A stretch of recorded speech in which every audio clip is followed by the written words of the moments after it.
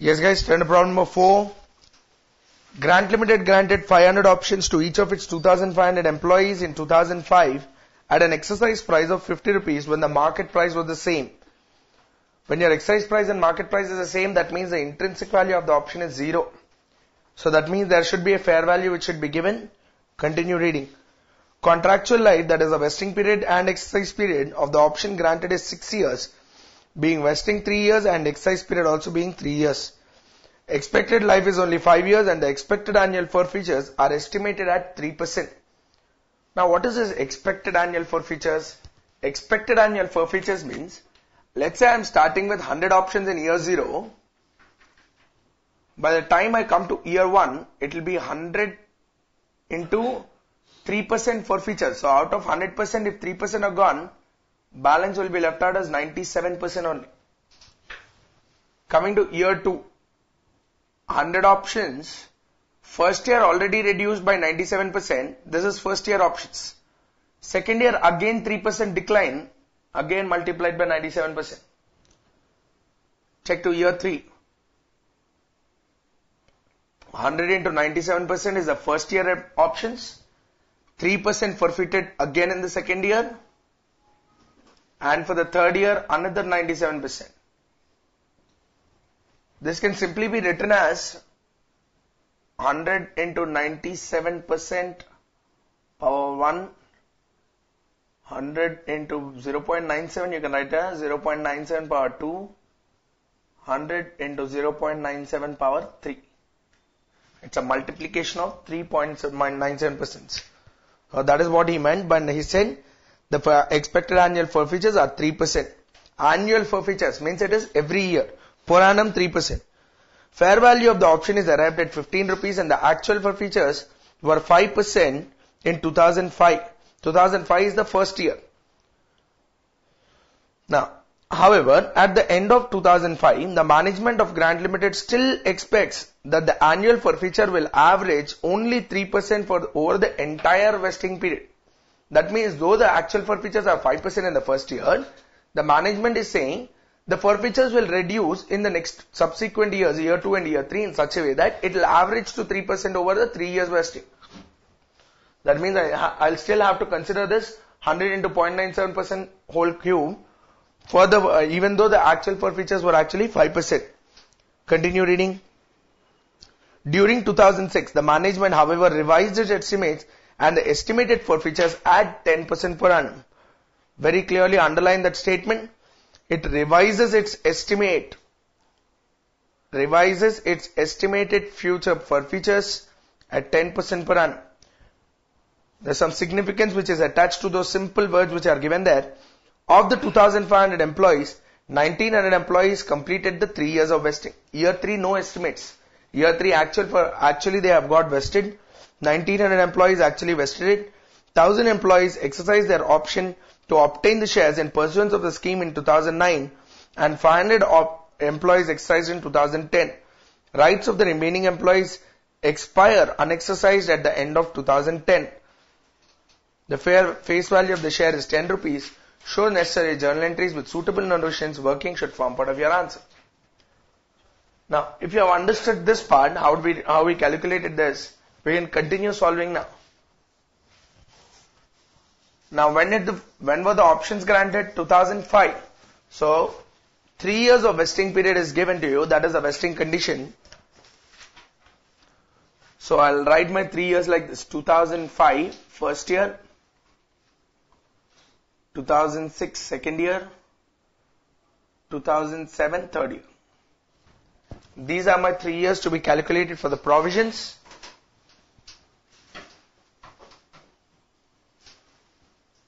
Number of options expected to vest. Let's start. First of all, how many number of options were given to us? 500 options to each of the 2500 employees. So 2500 employees, each employee gets 500 options. These were the number of options existing. Continue reading. After the fair value is given, then you read. Fair value of option is arrived at 15. Actual forfeitures in 2005 were 5%. However, at the end of 2005, the management of Grant Limited still expects that the annual forfeitures will average to 3% over the entire vesting period. Though the actual forfeitures are 5%, now he is saying that still it will average to only 3%. When it is averaging to 3%, it should be 0.97% whole, sorry, 0.97 whole cube. 0.97 for year 1, 0.97 for year 2, 0.97 for year 3. So at the end of the vesting period, how many options will be left out? 0.97% whole cube. 97% into 97% into 97%. Continue for the second year also. Let's try to fill up even the second year now. During 2010, sorry, during 2006, the management revises its estimated forfeiture rate at 10% per annum. Guys, during 2006. Now what is his estimate regarding? I already know one year which is actuals. 2005 already 5% have got forfeited. That is the first thing that we already know. Now during 2006 he is estimating then his estimate should be for 2006 as well as 2007 and such an estimate is 5% per annum sorry 10% per annum he said. So how do we calculate? I have 2500 employees each of them was granted 500 options. First year actual figure 5% forfeitures 95% remaining 0.95 that is year 1 for year 2 and year 3 is estimating that the annual forfeitures will be 10%. So 10% in the sense is 90% will remain 0.90 whole square 2006 as well as 2007. So 2005 actuals, 2006 and 7 estimated forfeitures of 10%. Last year I don't need any estimated forfeitures. I'll get the actual figures. The actual figures 1900 employees have completed 3 years of vesting, 1900 employees, they will be receiving 500 options per employee. So that will give you a direct figure. Guys, options cannot be in points. So try to round off the options to the nearest rupee. To the nearest number you can round off the options. 97% into 97% into 97% definitely is not a round figure. Try to round it off to the nearest multiple. Come on.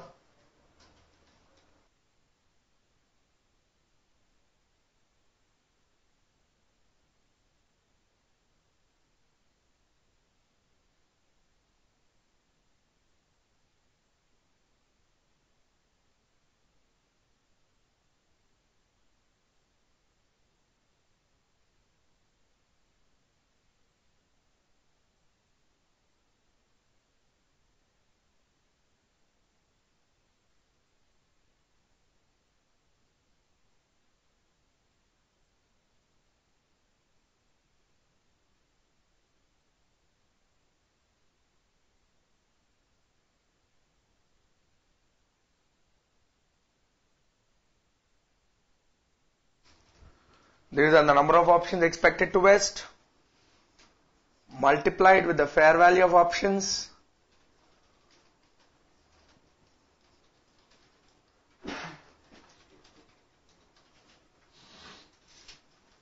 Fifteen and we shall arrive at the total employee compensation expense. Total employee compensation expense. Should be provided over the vesting period proportionately. Vesting period in years is 3 years throughout.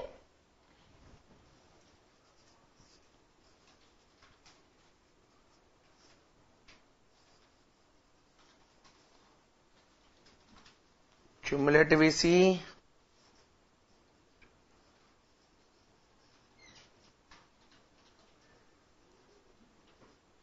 provided in previous year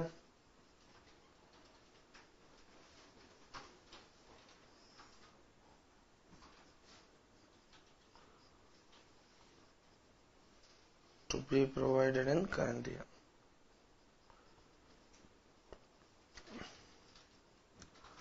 Come on guys, we can fill it up.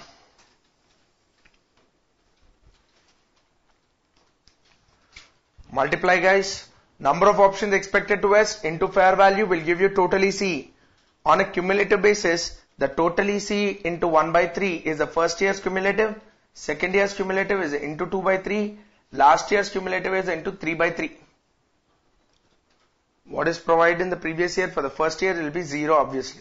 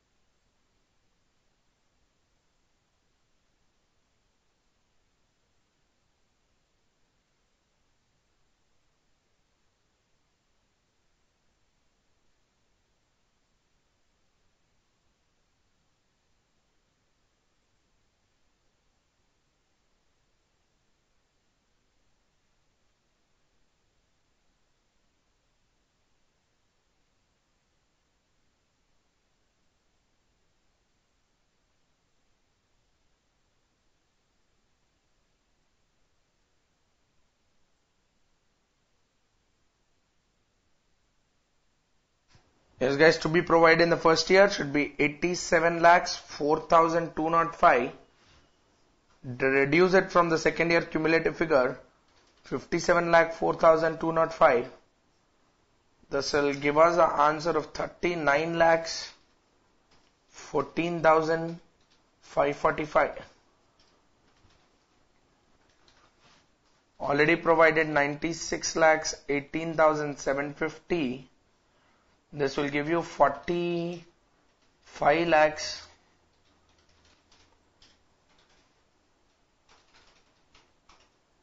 Thirty-one thousand two fifty, I guess.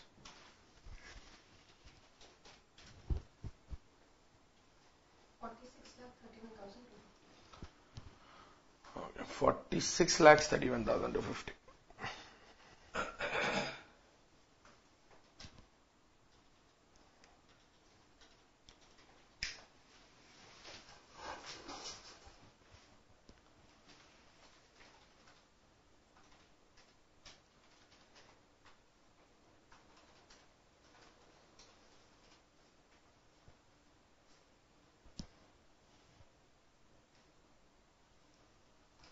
Once you arrive at these answers, you can go for the journal entries, guys. Go on.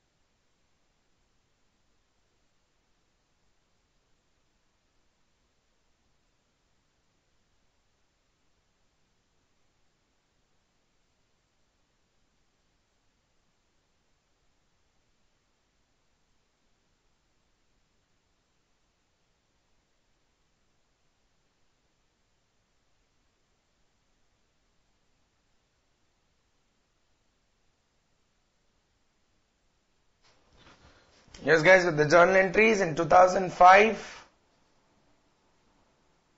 employee compensation expense to employee stock options outstanding account 57 lakhs 4205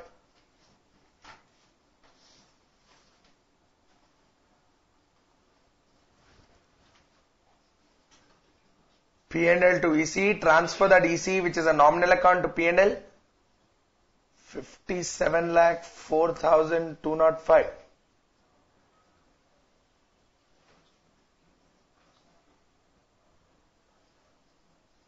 Continue for 2006 as well as 2007. You will get the same pair of two entries, but the amounts will be different. 2006 the amount is 39 lakh 14,545 and last year it is 46 lakhs 31,250. That leaves us with a total ESO of 1, 1 crore 42 lakh 50,000.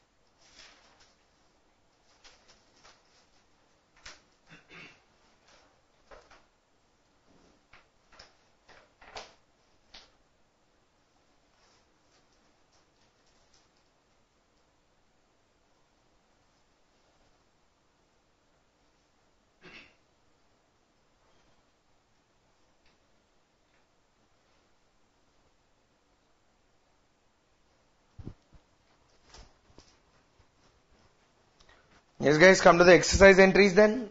If you have passed those three years, two entries, total six entries passed, then come to the exercise entry. Check the exercise.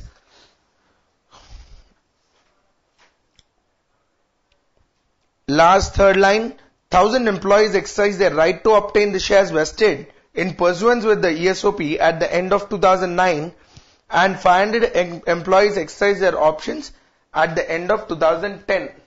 So 2009 and 2010 I have two exercise entries to be written. 2009 1000 employees. Come on. Bank account debit.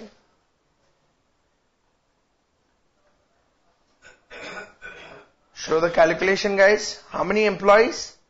1000 employees. Each employee existing with 500 options with an exercise price given in the second line. Exercise price per share is 50.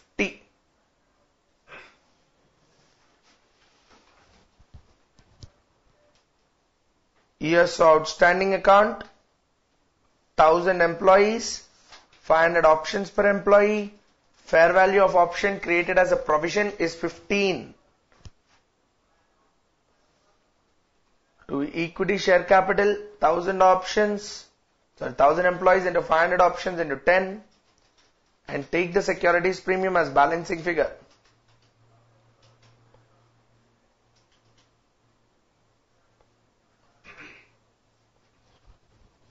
Bank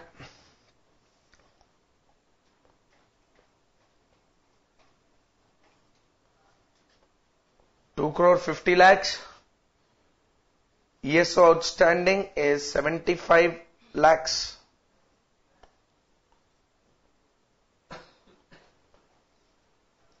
Equity share capital is 50 lakhs.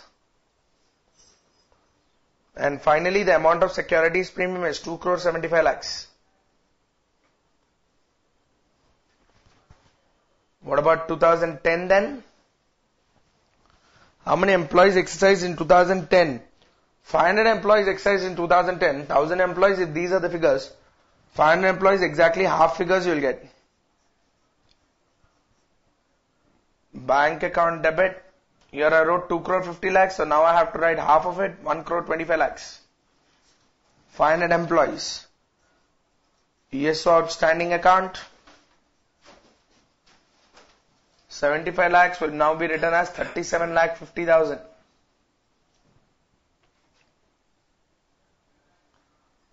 To equity share capital, half of 50 lakhs is 25 lakhs. And finally, securities premium should also be half.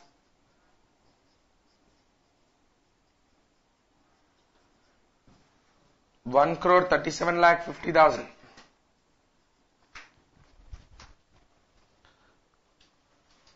Finally, at the end of 2010, there is a lapse. 1000 plus 500, total 1500 employees exercise the option, 1900 employees have actually vested. 400 employees options lapse. ESA outstanding to General Reserve.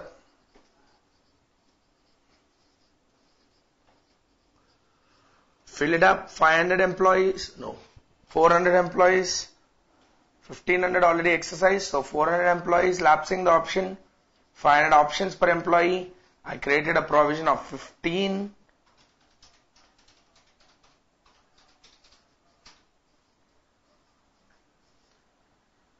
Thirty lakhs. Check the total of years outstanding now. Utilize 75 lakhs plus 37 lakh 50,000 plus 30 lakhs. Total is 1 crore 42 lakh 50,000. If you got 1 crore 42 lakh 50,000 then the answer is absolutely right.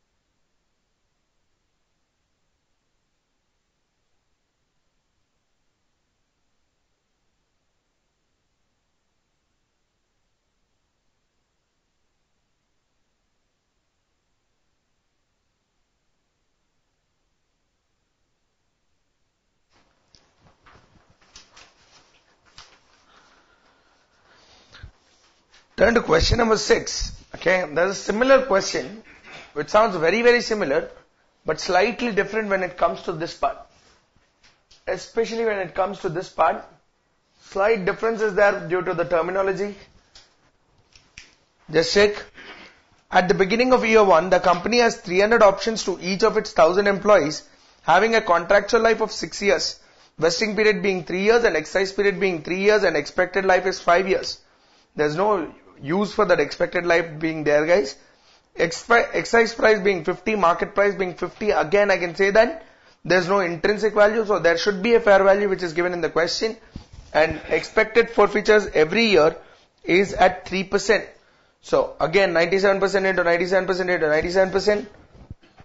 The fair value of the options calculated using an option pricing model is 15. Same fair value. Actual forfeitures during year one is 5% and at the end of year one, the enterprise still expects that the annual forfeitures would average only 3% over 3 years vesting period. So that means same calculations. Though for first year by, you know, actual forfeitures was uh, 5%, he is expecting that the average forfeitures would remain at 3% every year. However, during year 2, the management decides to rate the, uh, the rate of forfeitures is likely to continue to increase and the expected forfeitures for the entire award, underline that word. And the expected forfeiture rate for the entire award is changed to 6% per year. What does this mean? I have to take for the entire award means all the three years I have to start taking at 0.94 into 0.94 into 0.94 because it is a 6% decline. But in the previous problem, I have taken this at actuals. and these two were estimates because he never said that the estimate is for the entire period. Normally when I'm standing in year 2, my estimate will be only for the current year and the future period. It cannot be for the previous period because previous period I already know the actual forfeitures. But here he is clearly stating that the expected forfeiture rate for the entire award is converted to 6%. That means all the three years I am expecting it to be 6% only. Finally, it is assumed that 840 employees have actually completed it. 200 employees exercised their right in pursuance with the ESOP at the end of year 2000, year 5 and 600 employees at the end of year 6. Remaining 40 employees, the options are unexercised at the end of contractual life. That is year 6. Take the fair value as rupees 10 and start solving the problem.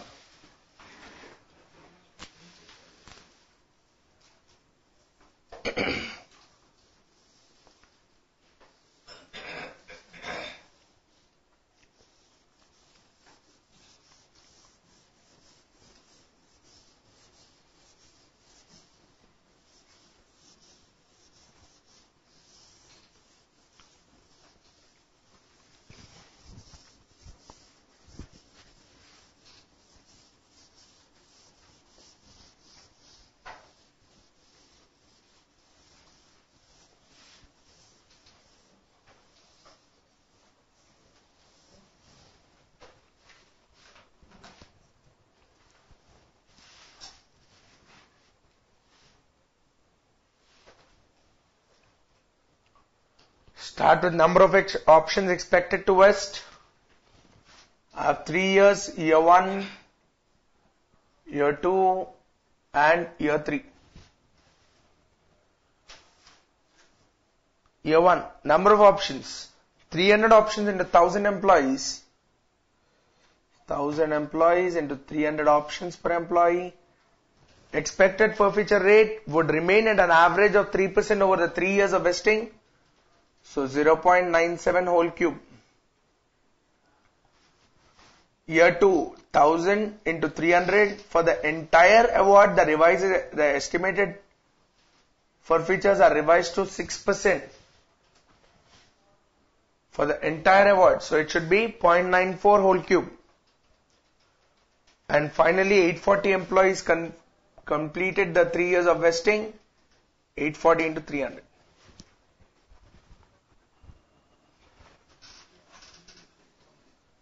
Identify these values, multiplied with a fair value of 15, already given, identified using option pricing model, we get total EC. Vesting period it should be taken as 3 years.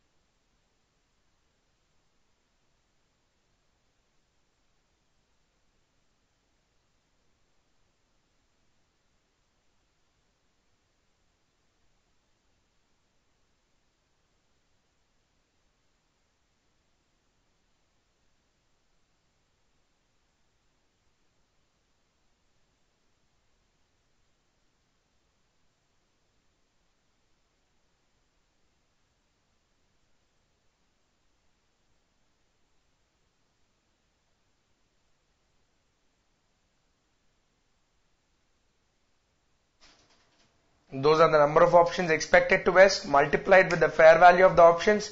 You get the total employee compensation expense.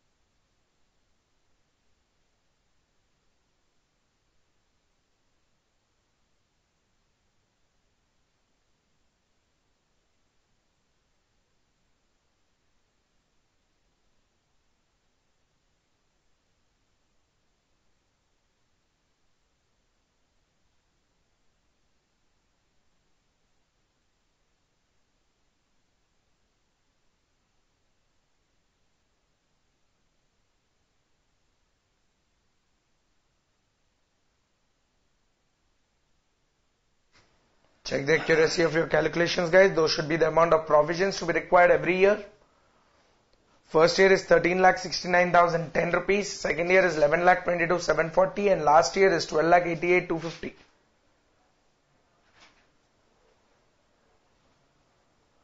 If you have done till here then go for the journal entries.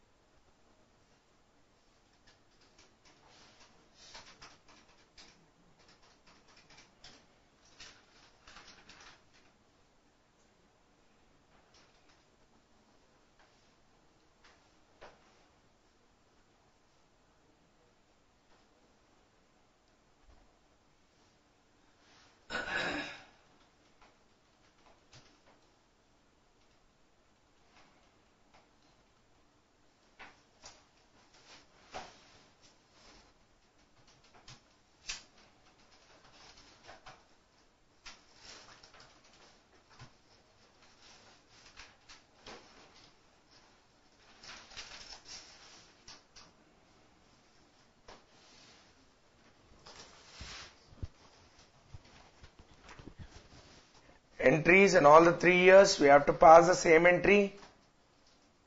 EC to ES outstanding.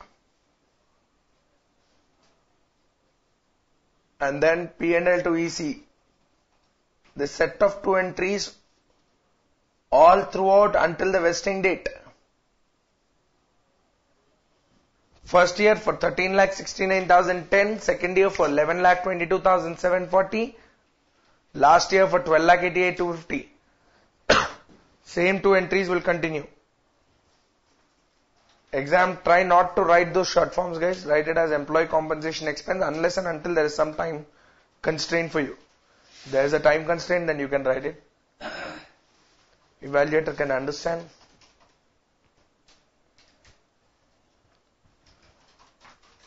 Go for the exercise entries and uh, the exercise is split into two parts now. First is the exercise of 200 shares and then is the exercise of 600 shares. One is at the end of year 5 and year 6. Year 5 200 shares. Bank account debit 200 employees, 300 options per employee, 50 rupees. Years outstanding account 200 employees into 300 options per employee into fair value of option 15 to equity share capital 200 employees into 300 options per employee into 10 rupees. Securities premium being the balancing figure.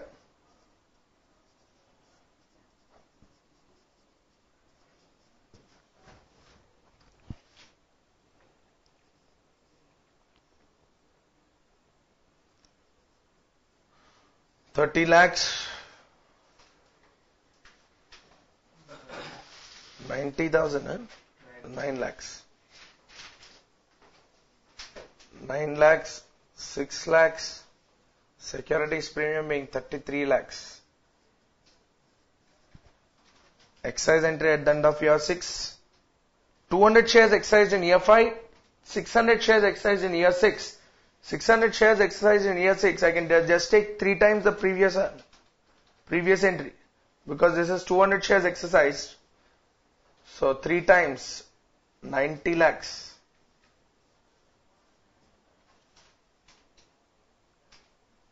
ESO outstanding account 3 times 9 lakh into 3 27 lakhs. Equity share capital instead of 200 employees 600 employees now 18 lakhs. Finally to securities premium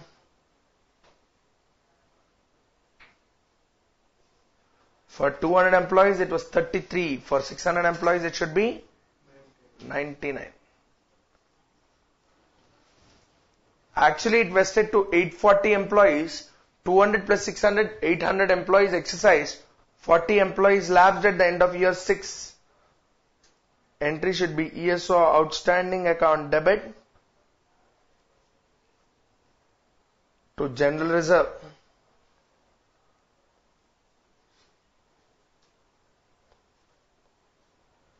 Place the figure.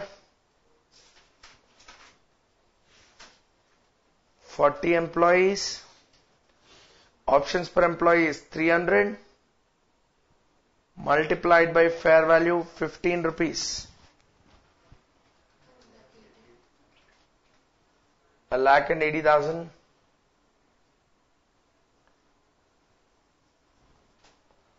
That is the entry for lapse transfer to general reserve.